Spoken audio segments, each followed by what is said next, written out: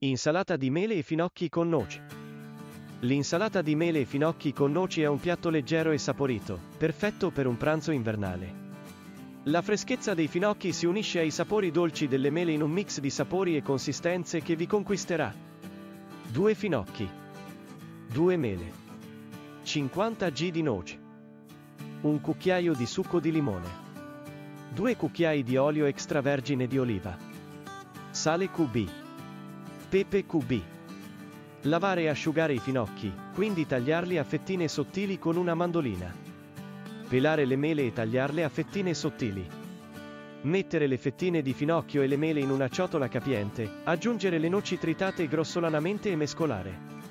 In una ciotolina, preparare una vinaigrette con il succo di limone, l'olio di oliva, il sale e il pepe. Versare la vinaigrette sull'insalata, mescolare bene e servire.